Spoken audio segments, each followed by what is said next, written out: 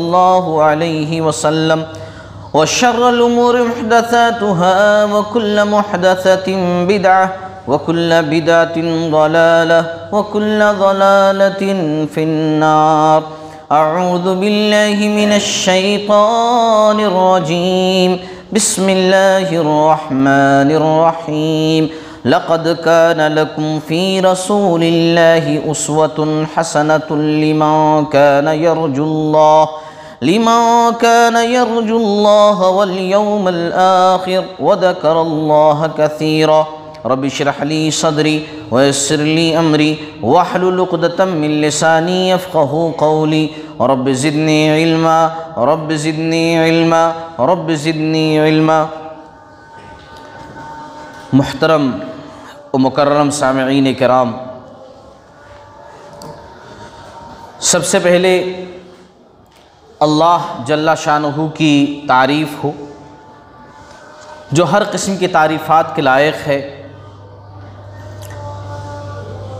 अनगिनत बेशुमार दरुद सलाम का तोहफ़ा हो, नबी आखरुज़मा सरवर कौनैन अहमद मुशतबा रसूल अरबी, जनाब महमदुलरसूलुल्लाह सल्लल्लाहु अलैहि वसल्लम पर।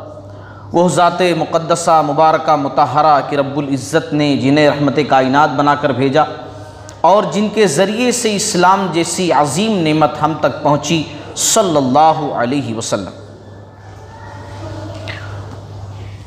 मोहतरम हज़रत, आज जिस मौजू पर मुझे गुफ्तु करनी है वो मौजू है आप सल्लल्लाहु अलैहि वसल्लम को क्या नापसंद था? इससे पहले जब ये उनवान मैंने सेलेक्ट किया कि आप सल्लल्लाहु अलैहि वसल्लम को क्या पसंद था, तभी मैंने ये सोचा कि ये उनवान भी रखना ज़रूरी है कि आप सल्लल्लाहु अलैहि वसल्लम को क्या नापसंद था। तो बुनियादी तौर पर आप सल्लल्लाहु अलैहि वसल्लम हर गुनाह और हर बुरे काम को नापसंद करते थे।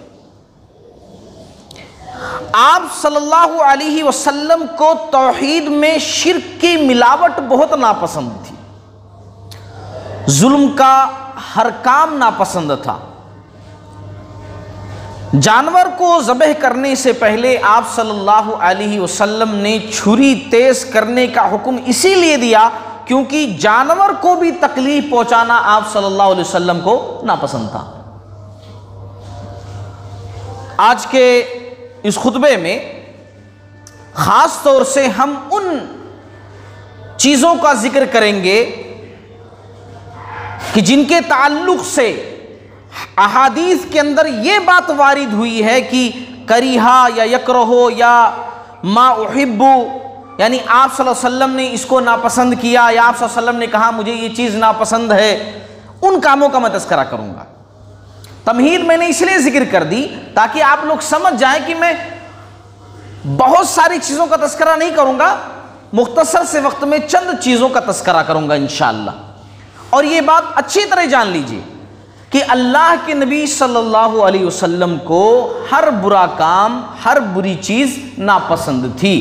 जुल्म का कोई भी अमल हो, आप सल्लल्लाहु अलैहि वसल्लम उसको नापसंद करते थे। और ये उनवान हमारे लिए जानना इतना ज़रूरी है कि देखिए, हम आप सल्लल्लाहु अलैहि वसल्लम के उम्मती हैं, उम्मत के लोग हैं। ये तमाम बातें हमारे लिए जानना ज़रूरी है कि आप सल्लल्लाहु अलैहि वसल्लम को क्या पसंद था और आप सल्लल्लाहु अलैहि वसल्लम को क्या नापसंद था। ताकि उस चीज़ को हम पसंद करें जो आप सल्लल्लाहु अलैहि वसल्लम को पसंद था और उस चीज़ को नापसंद करें जो आप सल्लल्लाहु अलैहि वसल्लम को नापसंद था। यही ईमान का तकाजा है और यही असली मोहब्बत रसूल सल्लल्लाहु अलैहि वसल्लम है। सहाबे किराम के अंदर जहाँ बहुत सारी अच्छाइयाँ, खूबियाँ पाई जाती थी, वहाँ उन खूबियों में एक ख़ास बात यह थी कि सहाबे किराम उस चीज़ को पसंद करते थे जो आप सल्लल्लाहु अलैहि वसल्लम को पसंद थी और उस चीज़ को नापसंद करते थे जो आप सल्लल्लाहु अलैहि वसल्लम को नापसंद थी। ये साहब कराम की खूबी है। मैं एक मिसाल दूँ आप लोगों को। आप सल्लल्लाहु अलैहि वसल्लम को गाली गलूज करना सख्त नापसंद था। जैसे आमतौर से होता है ना लोग बातों बातों में बहुत सारी गालियाँ दे देते हैं। कितने सारे लोग तो ये हैं कि वो गाली देने के लिए रिश्ते निकाल लेते हैं और इस तरह कहते हैं कि इनसे गाली का रिश्ता बनता है। ये हमारे साले सा, साले साहब तो क्या गाली देंगे उनको? बुरे अल्फाज उनके लिए इस्तेमाल करेंगे। मतलब कुछ रिश्तों में गाली गुलूज बुरे अल्फाज चलते हैं। लोग ऐसा समझते हैं। है ना? रिश्ता बनता है, गाली का वो भी। बुरे अल्फाज का वो भी।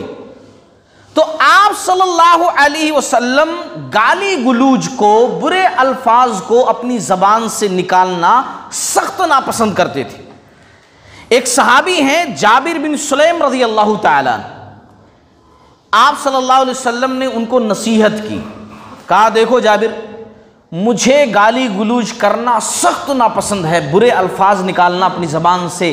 सख्त नापसंद है। मैं तुम्हें नसीहत करता हूँ, वसीयत करता हूँ कि तुम भी अपनी ज़बान से कभी भी गलत अल्फाज नहीं निकालना। किसी को बुरा भला नहीं कहना। गाली गुलूज टाइप वाला कोई जुमला अपनी ज़बान से अदा नहीं करना। आप जानते हैं इन्होंने क्या किया? इन्होंने सारी ज़िंदगी ना किसी आज़ाद को कुछ बुरा भला कहा, ना किसी गुलाम को कुछ बुरा भला कहा। इंसान को तो छोड़िए, भेड़, बकरी, जानवर तक को इन्होंने बुरा भला नहीं कहा। क्यों? मेरे नबी को यह बात नापसंद थी कि मैं अपनी ज़बान से गलत चीज़ निकालूं तो मैं किसी के लिए गलत सब जो है लफ्ज़ नहीं निकालूँगा। देखिए यह है मोहब्बत रसूल। यह है रसूलुल्लाह सल्लल्लाहु अलैहि वसल्लम के सच्चे उम्मती होने का मतलब। इसको कहते हैं। चलिए, अब अपने असल मौजू पर मैं आता हूँ। आप सल्लल्लाहु अलैहि वसल्लम की नापसंदीदा चीज़ों में से एक चीज़ ये थी, गैर ज़रूरी सवालात। गैर ज़रूरी सवालात। इसको गौर से सुनिएगा, क्योंकि ये बुराई हमारे पास बहुत पाई जाती है। गैर ज़रूरी सवालात। सही बुखारी की हदीस है, आप सल्लल्लाहु अलैहि वसल्लम ने इरशाद फरमाया कि देखो, ये चीज़ मायूब है, गलत है, गैर ज़रूरी सवाल करना। आप सल्लल्लाहु अलैहि वसल्लम बिला वजह सवालात को नापसंद और मायूब समझते थे। बिला वजह, गैर ज़रूरी सवालात करना आप सल्लल्लाहु अलैहि वसल्लम को सख्त नापसंद था। मगर आज के दौर में ये चीज़ बहुत आम है। आज लोगों को ज़रूरत नहीं होती है। अमल नहीं करना होता खाली सवाल करना होता है। बस जानकारी के लिए। General knowledge. इल्म होना चाहिए। अच्छी चीज़ है। लेकिन सहाबे किराम का मामूल ये था कि जो पूछते थे उस पर अमल करते थे। हमारे पास पूछते तो हैं, मगर अमल का नामो निशान नहीं। बोलते हैं कि हाँ जानना चाहिए मौलाना, ये चीज़ इल्म में होनी चाहिए। इल्म में होनी चाहिए। सवाल सिर्फ़ करना चाहिए। एक आलिम साहब की किताब में पढ़ रहा था। उन्होंने ज़िक्र किया अपने बारे में, वो आलिम, बेहतरीन आलिम। उन्होंने कहा, एक साहब का कॉल मेरे पास आया। और कॉल करके बंदे ने सवाल किया, बोला, शेख मैं आपसे एक सवाल करना चाहता हूँ। कहा, बिस्मिल्लाह कीजिए, पूछिए, क्या बात है? हम आलिम हैं, बिल्कुल सवाल का जवाब देंगे जो हमारे इल्म में होगा।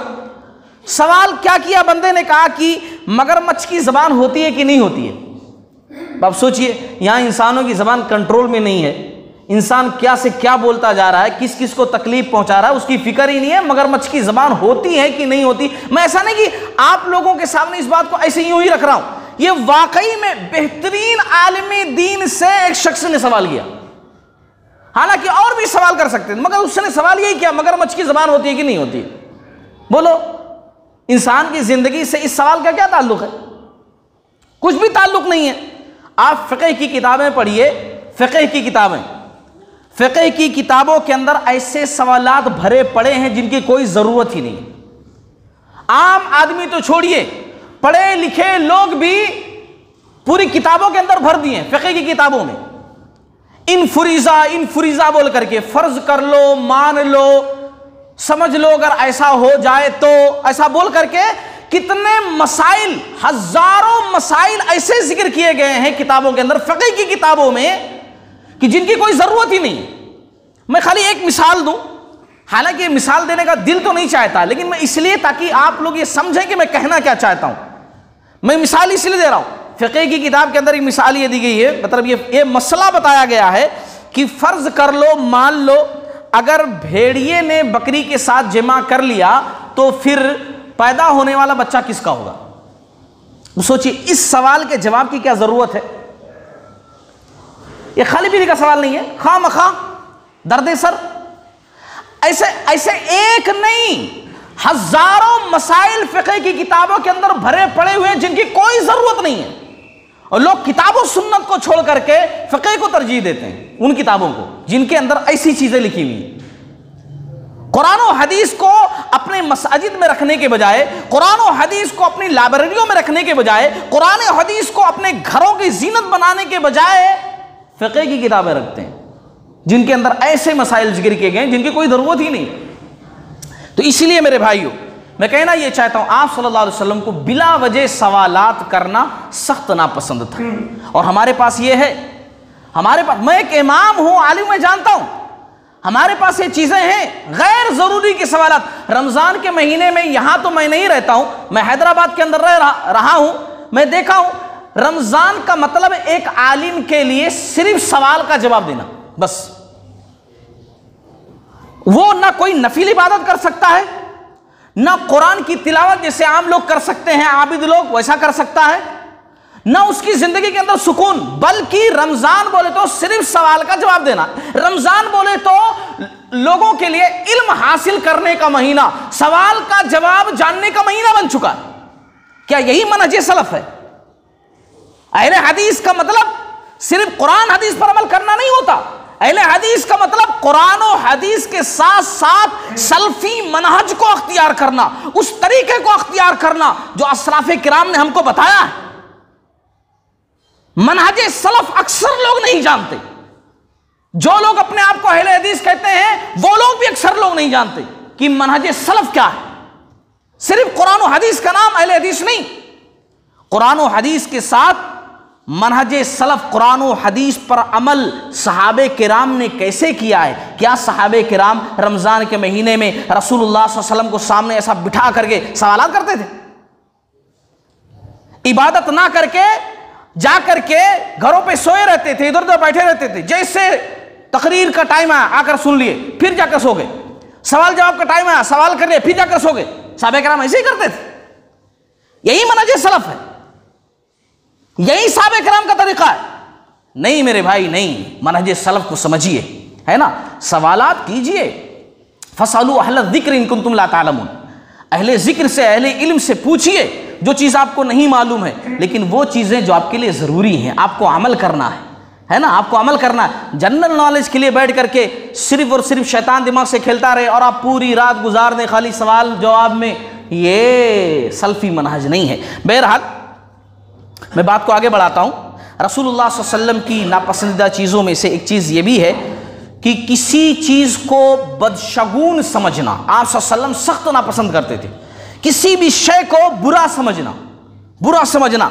हदीस सुनाऊं मैं, आप सल्लल्लाहु अलैहि वसल्लम की, आप सल्लल्लाहु अलैहि वसल्लम अच्छी फाल को बहुत पसंद करते थे और बदशगुनी को नापसंद करते थे। अच्छी फाल का मतलब क्या होता है? हर चीज़ से अच्छा मतलब निकालना। जैसे आप घर से बाहर निकले, कोई सायल आ गया तो आप ये सोचें कि इंशाल्लाह मेरा काम बड़ा अच्छा होगा। क्योंकि देखिए, किसी बंदे की मदद करने का मौका मिल गया तो इंशाल्लाह अल्लाह मेरी भी मदद करेगा। किसी साहब से मुलाकात होगी, अल्हम्दुलिल्लाह, मेरे भाई से मुलाकात होगी, इंशाल्लाह मेरा दिन बहुत अच्छा रहेगा। हर चीज़ से अच्छा मतलब निकालना, ये अच्छी फाल। आप ससलों को पसंद है चीज़। और बदशगुनी बुरा मतलब निकालना, बुरा मतलब निकालना गाड़ी के सामने से बिल्ली गुजर गई तो अब ख़त्म, ख़तरा है, सफ़र सुहाना नहीं जाएगा। ये आप को सख्त नापसंद थी। इसी तरीके से बहुत सारी चीज़ें हैं हमारे घरों के अंदर। घर में जाले हैं, बेशक घर की साफ़ सफ़ाई का ख्याल करना चाहिए। घर में जाले हैं तो नहुसत आ जाती है है ना? या इसी तरीके से खाली कैंची कोई चला दिया बच्चा तो लड़ाई झगड़ा होगा, उल्टी चप्पल है तो ये हो जाएगा, ये है तो वो हो जाएगा। अजीब अजीब चीज़ें।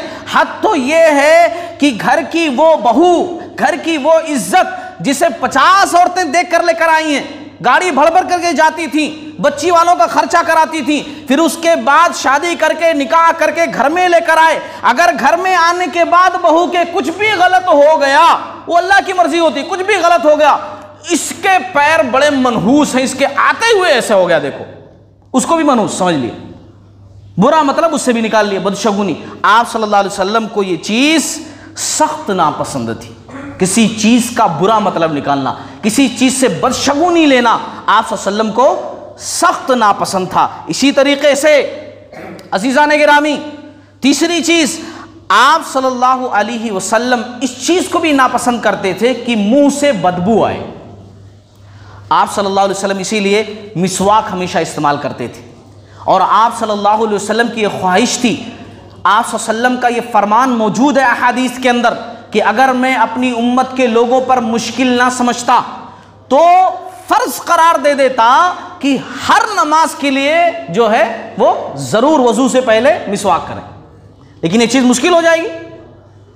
इसीलिए आप सल्लल्लाहु अलैहि वसल्लम की पसंद ये थी, मिसवाक, हर वज़ू से पहले मिसवाक किया जाए। तो हमें करना चाहिए। और ख़ास तौर से आज जो बात मैं ज़िक्र कर रहा हूँ, मुँह से बदबू आना आप सल्लल्लाहु अलैहि वसल्लम को तो बहुत ही नापसंद था, बहुत नापसंद। एक वाक़ मैं आप लोगों को सुनाऊं। सही मुस्लिम की हदीस है, अबू अयूब अंसारी रज़ी अल्लाह तहो मेज़बान रसूल सल्लल्लाहु अलैहि वसल्लम जिन्हें कहा जाता है। आप सल्लल्लाहु अलैहि वसल्लम जब हिजरत करके मक्का से मदीना गए तो इनके यहाँ ठहरे थे। जब ये आप सल्लल्लाहु अलैहि वसल्लम को खाना लेकर के जाते तो ये कहते हैं कि आप सल्लल्लाहु अलैहि वसल्लम को जितना पसंद होता, उतना खा लेते। खाना कैसा भी हो, आयब नहीं निकालते, जो खाना खा लेते, बाकी मैं उठा लाता। एक दिन मैंने खाना दिया, आप सल्लल्लाहु अलैहि वसल्लम ने कुछ भी नहीं खाया। पूरा का पूरा वापस। मैंने कहा, या रसूलुल्लाह सल्लल्लाहु अलैहि वसल्लम, क्या बात है? आप आपने खाना तनाउल नहीं फरमाया? तो आप सल्लल्लाहु अलैहि वसल्लम ने कहा कि दरअसल उसमें लहसन है, कच्चा लहसन, उसकी बू जो है मुझे पसंद नहीं है। इसलिए जो है, मैं उसको नहीं खाया। लहसन की, प्याज की आप वसल्लम को बदबू पसंद नहीं थी। इसीलिए आप वसल्लम ने हदीस के अंदर कहा, अगर कोई खाना हराम नहीं है। अबू अयूब अंसारी रज़ी अल्लाह तुन्होंने भी पूछा था, या रसोल्ला क्या ये हराम है? तो आप वसल्लम कहा कि, नहीं नहीं, हराम नहीं है, बस मुझे नापसंद है। मुझे नापसंद है, मुँह से बदबू आती है। मेरे पास फरिश्ता आता रहता है, जबरील अमीन आते थे वही लेकर के। उनको ये चीज़ और नागवार गुजरती बदबू फरिश्तों को। तो इसीलिए जो है मैं इस चीज़ को नापसंद करता हूँ। और आप वसल्लम ने खास तौर से मसाजिद वगैरह के अंदर हुक्म दिया कि बदबूदार चीज़ें खा करके, चाहे वो हलाल ही क्यों ना हो, कोई शख्स मस्जिद में ना आए। अगर कच्चा प्याज, लहसन या बू वाली चीज़ें कोई आदमी खाए, हलाल हो, खाए, तब भी ब्रश वगैरह करके, मिसवाक करके उसकी बदबू को जो है, बू को जायल कर दे। इससे मैं कहना क्या चाहता हूँ? कि आज लोगों का आलम तो यह है, मुँह का दिन भर खाते रहते। पान खाने वाले कितने सारे हैं? देखो तो मीठा पान खा लिए कभी दिन में एक तो चलो कोई बात नहीं, एक खा लिए कोई बात नहीं। तंबाकू खाने वाले ये वो पूरा दिन भर मुँह में भरे रहते। अब देखो उनका उनका उनका मुँह देखो, ऐसा लगता कि क्या किए हुए पूरा लाल लाल, पूरे मुँह के अंदर, पूरे दांत, जबान, सब लाल लाल। गुटखा खाने वाले अलग, सिगरेट पीने वाले अलग, बीड़ी पीने वाले अलग। मैं दूसरों की बात नहीं कर रहा हूँ, मुस्लिम कौम की बात कर रहा हूँ। वो कौम जो अपने आप को आशिक रसूल समझती है। कहती है, हम ही वसल्लम की उम्मती हैं। क़यामत के दिन हमारी शफात और सिफारिश करेंगे वसल्लम। ये उम्मत है। आप सल्लल्लाहु अलैहि वसल्लम को हलाल चीज़ लहसन उसकी बदबू नापसंद थी। और उम्मत के लोग हैं कि बीड़ी, गुटखा, सिगरेट जो हराम है, वो खा पी करके घूमते रहते हैं। पान डब्बों पर हमेशा खड़े रहते हैं। कैसे कैसे लोग? सोचिए आप, मेरी समझ में ये नहीं आता, ऐसे लोग अपने घरों को कैसे जाते होंगे? अपने घर वालों के पास कैसे जाते होंगे? कि जिनके मुँह के अंदर से बदबू आती है। आप सल्लल्लाहु अलैहि वसल्लम मुँह की पाकी और सफ़ाई के बारे में बहुत ध्यान देते थे। और इसीलिए हमको चाहिए कि ऐसी कोई चीज़ ना खाएँ जिससे हमारे मुँह के अंदर बदबू पैदा हो। अगर हलाल कोई चीज़ खाते हैं जिससे बू पैदा होती है, जैसे प्याज है, लहसन है तो खाने के बाद मिसवाक के ज़रिए से, ब्रश के ज़रिए से उसकी बू को जायल कर दें, उसके बू को खत्म कर दें। क्योंकि मुँह से बदबू आना, मुँह से बदबू आना आप सल्लल्लाहु अलैहि वसल्लम को यह सख्त नापसंद थी। मोहतरम हज़रत, आप सल्लल्लाहु अलैहि वसल्लम की नापसंदीदा चीज़ों में से एक चीज़ और भी। ईशा के बाद बातें करना आप वसल्लम को नापसंद था ईशा के बाद। नौजवान खास तौर से सुने ईशा के बाद गुफ्तगु करना, आप सल्लल्लाहु अलैहि वसल्लम को सख्त नापसंद। सही बुखारी की हदीस है, काना यकरहुन्नौमा कबल ईशाई वल हदीस आप सल्लल्लाहु अलैहि वसल्लम को ईशा से पहले सोना और ईशा के बाद बात करना नापसंद था। ईशा से पहले सोना, नापसंद। और ईशा के बाद बात करना, नापसंद। ईशा के बाद सो जाना यह आप सल्लल्लाहु अलैहि वसल्लम को पसंद था। ताकि फजर में हशाश बशाश होकर सही तरीके से बेदार हो सकें। मगर हमारे पास क्या है? कितने सारे लोग दिन भर सोते रहते, रात भर जागते रहते। उल्लुओं की तरह उल्लू ऐसा काम करता है ना? उल्लू जो रहता है, ऐसे ही करता है। दिन में सोता है, रात में जागता है। बिल्कुल, वैसी हरकत हम लोगों की, इंसानों की हो गई है। उल्टा सब सिस्टम हो गया हमारे पास। रात अल्लाह ताला ने सोने के लिए बनाई है तो जागते हैं, और दिन जागने के लिए बनाया है तो उसमें सो जाते हैं। कितनों नौजवानों का आलम यही है। आप देखिए जाकर के। इसी तरीके से आप सल्लल्लाहु अलैहि वसल्लम बिल्कुल पीछे चलना नापसंद करते थे। इस चीज़ को समझिए, बिल्कुल पीछे चलने का मतलब क्या है? आप सल्लल्लाहु अलैहि वसल्लम ने ना हर चीज़ के आदाब बताए हैं सुबहान अल्लाह हर चीज़ के आदाब। दीन इस्लाम इतना प्यारा दीन है कि इसमें कोई चीज़ ऐसी नहीं है जो आपको ना बताया गया हो। ज़रूरत की हर चीज़ एक इंसान के लिए जितनी चीज़ें ज़रूरी होती हैं, उसके काम की होती हैं, सब बता दिया गया। आप सल्लल्लाहु अलैहि वसल्लम पीछे चलने को, पीछे चलने का मतलब है कि बिल्कुल आदमी एकदम पीछे चले। कोई साहब आगे चले, मैं उनके पीछे पीछे चलूँ। है ना? ये चलने को नापसंद किया। आप वसल्लम ने कहा, दाएँ चलो या बाएँ चलो? पीछे चलने से क्यों रोका? इसकी एक वजह यह है कि ये तकबराना चाल है कि लीडर आगे चल रहे हैं, पूरे लोग पीछे पीछे चल रहे हैं। है ना? अजीब समा। आप सल्लल्लाहु अलैहि वसल्लम नबी थे, मगर फिर भी ऐसा बोलते थे कि ऐसा मेरे पीछे पीछे मत चलो। है ना? बल्कि दाएँ बाएँ दाएँ बाएँ, और बाकी लोग पीछे। यानी सब मिल करके चलो साथ में। ऐसा नहीं लगे कि मैं आगे हूँ, मेरे दाएँ बाएँ कोई भी नहीं, सब पीछे। है ना? मैं आगे सिर्फ़ चलूँ। आप सल्लल्लाहु अलैहि वसल्लम ने ये बात कही है। और अगर कोई शख्स बिल्कुल पीछे चलता तो उसका नुकसान यह भी हो सकता है कि अगर पीछे वाले को ठोकर लगेगी तो सामने वाले में जाकर टकराएगा। ये सामने वाले को अगर कोई खतरा हुआ ना, वो टकराया तो पीछे वाला ऑटोमेटिक गिर जाएगा। बिल्कुल उसके पीछे जब चल रहा है। इसीलिए कहा, दाएँ बाएँ होकर के चला करो। दरअसल क्या है, इस्लाम ने हर उस काम से रोका है जिसमें किब्र, गुरूर, घमंड पाया जाता। इसीलिए इस्लाम ने क्या कहा कि अपना ये कपड़ा, इजार, लुंगी, पैंट, जो भी है, टखनों से नीचे मत रखा करो। क्यों? इसलिए कि यह तकबर की निशानी है। यह घमंड की निशानी है। और अल्लाह रब्बुल आलमीन के शान के लायक है कि वो समझे कि हाँ मैं बड़ा। अल्लाह ताला बड़ा। और हम लोग अल्लाह ताला के सामने क्या हैं? क्यों गुरूर करें, क्यों घमंड करें? किस हालत में पैदा हुए हम आप आप अच्छी तरीके से जानते हैं। कैसे दुनिया के अंदर आए, कितने कमज़ोर थे, अल्लाह ने ताकतवर बनाया और इंसान ताकतवर होकर के उस अल्लाह रब्बुल आलमीन के सामने तकबर करना शुरू कर देता है। उसके खिलाफ चला जाता है। बहरहाल, आप सल्लल्लाहु अलैहि वसल्लम की नापसंदा चीज़ों में से, छठी चीज़ जो मैं ज़िक्र कर रहा हूँ, बेअदबी से खाना खाना। बेअदबी से खाना खाना। इस्लाम ने खाने के आदाब भी बताए, ऐसे खाना खाओ। खाना किस तरह खाना चाहिए? बिस्मिल्लाह कह करके अपने सामने से खाना खाना चाहिए। है ना? छीना, छपटी के साथ खाना नहीं खाना चाहिए। ये इस्लामी आदाब के खिलाफ है। आप सल्लल्लाहु अलैहि वसल्लम को ये बात सख्त नापसंद थी। सहीहा की हदीस है कि आदमी इधर उधर से खाने के बीच में से इधर उधर उठा करके खाए। अपने सामने से खाओ। शादी खानों में आप देखो। कितने सारे लोग हैं। चलो अलग अलग डिशें आती हैं, ठीक है? आप सब में से थोड़ा थोड़ा ले लिए, जितनी ज़रूरत आपको ही उतना ले लिए, ठीक अच्छी बात है। खाना बना है खाने के वास्ते ही आप खा रहे हैं, अच्छी चीज़ है, अल्लाह की नेमत है, शुक्र कीजिए। लेकिन कितने सारे लोग हैं? पूरा भर लेते। आजू बाजू किसी की तरफ़ नहीं देखते, सिर्फ़ मुंडी नीचे करके पूरा भर लेते। खा नहीं पाते। बाद में कितनी सारी चीज़ें उसमें छोड़ देते हैं यूँ ही। कितने सारे पीसेस छोड़ देते हैं, रोटी छोड़ देते हैं ऐसे जाय कर देते। क्या अल्लाह ताला इन नेमतों के बारे में नहीं सवाल करेगा? वो असलाफ हमारे, वो सहाबे कराम जो दिन रात मेहनत करते थे, अल्लाह के सच्चे बंदे थे। इतने सच्चे बंदे कि कुरान में अल्लाह ने जिनका तस्करा किया, इतने सच्चे बंदे जिनके ईमान को हमारे लिए मेयार और आइडियल करार दिया, इतने सच्चे बंदे कि अल्लाह ने कहा, अल्लाह उनसे राज़ी हुआ, वो अल्लाह से राज़ी हुए। उनका आलम ये था कि हफ्तों चूल्हा नहीं जलता था उनके घरों के अंदर। जिससे पर सही लिबास नहीं होते थे। ये आलम था उनका। और आज अल्लाह रब्बुल आलमीन ने हमको इतना दिया है तो अल्लाह ताला की नेमतों की नाकदरी हमारे पास है। यूँ ही ज़ाय और बर्बाद कर देते हैं अल्लाह ताला की नेमतों को। तो आप वसल्लम को खाने में बेअदबी भी सख्त नापसंद थी। इसी तरीके से आप सल्लल्लाहु अलैहि वसल्लम किबले की तरफ़ थूकना भी नापसंद करते थे। किबला है ना हमारा? किबला। जिस तरफ़ रुख करके नमाज़ पढ़ते हैं, उस तरफ़ थूकना। बेहतर यह है कि आदमी कभी भी किबले की तरफ़ ना थूके। ये अदब है किबले का। नहीं थूकना चाहिए। मस्जिद, कुरान, किबला, ये अल्लाह रब्बुल की निशानियाँ हैं दुनिया के अंदर। यूँ समझ लीजिए, इनका अदब करना चाहिए।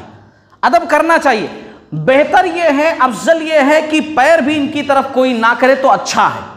अगर कभी कर लेता है अनजाने में यूँ ही ज़रूरत पड़ने पर कोई दूसरा ऑप्शन नहीं है तो वो एक अलग चीज़ है। हराम नहीं है। कहीं भी नहीं रोका गया है कि पैर नहीं कर सकते हो। थूकने से मना किया गया है। थूकना बेअदबी है। आप वसल्लम को सख्त नापसंद नहीं थूकना चाहिए। कभी पैर कर लिया किसी वजह से तो वो हराम नहीं है। कर सकता है, जायज़ और दुरुस्त है, लेकिन ना करे तो यही ज़्यादा बेहतर है। वहाँ पर भी अदब करे तो ज़्यादा बेहतर है। लेकिन यहाँ पर एक मसला मैं आप लोगों को समझाऊं। बहुत सारे लोग हैं, अल्हम्दुलिल्लाह, कि बहुत अदब करते हैं किबले का। चलो किबले की तरफ़ नहीं थूकते होंगे। अब वो पान खाने वाले, गुटखा खाने वाले, सिगरेट पीने वाले जो सब लोग हैं, वो ख्याल करते हैं कि नहीं करते हैं, वो अल्लाह बेहतर जाने, थूकने में। है ना? कि किधर थूकते हैं? ये देख करके थूकते हैं कि किबला है, इधर मत थूकूं, क्योंकि उनको तो बार बार थूकने की ज़रूरत पड़ती है। वो अल्लाह बेहतर जाने। लेकिन बहुत सारे लोग हैं जो अदब करते हैं। इतना अदब करते हैं कि ज़िंदगी में कभी भी पैर किबले की तरफ़ नहीं करते। है ना? किबले की तरफ़ नहीं करते। कोई कर आ किबले की तरफ़ पैर कर लिया। सख्ती के साथ बोलते हैं। लेकिन उन्हीं लोगों का आलम यह होता है कि घर में किसी का इंतकाल हो गया तो फ़ौरन पैर किबले की तरफ़। ये सोच करके कि मैं चेहरा किबले की तरफ़ कर रहा हूँ, लेकिन भाई पैर भी तो हो गया किबले की तरफ़ ना। ज़िंदगी भर आप किबले का एहतराम करते रहे, और मरने के बाद मैत का पैर किबले की तरफ़ आपने कर दिया। ये कौन सी एहतराम हो गया? आप ज़िंदगी भर जिस चीज़ पर अमल करते रहे, लाश में तोड़ दिया आपने।